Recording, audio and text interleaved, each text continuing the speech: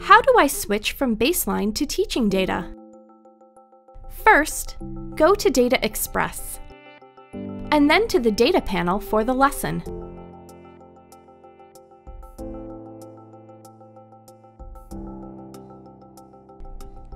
And add, a, and add a teaching target for the skill. And save. Then click on the drop-down in the Data Express panel.